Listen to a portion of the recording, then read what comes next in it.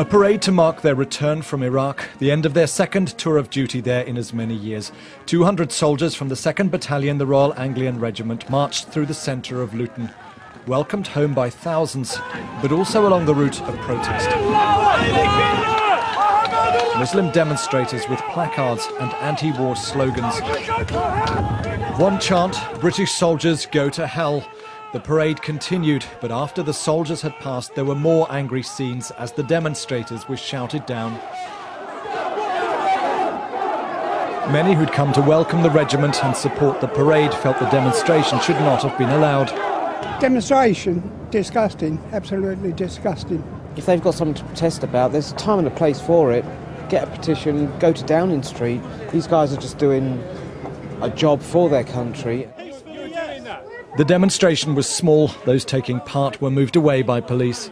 You'll always get a small minority who will abuse any situation. Uh, they're not representative of the community at large. I don't think, in the way that they do their business, they're representative of the Muslim community either.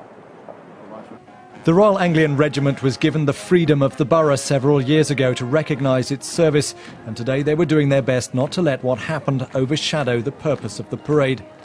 Today isn't about politics, it's all about saying thank you to our, um, our local family and friends and showing that the Royal Anglian Regiment is part of the local community as their local infantry regiment. But there is little doubt that the protest, though limited in size, has caused a great deal of resentment.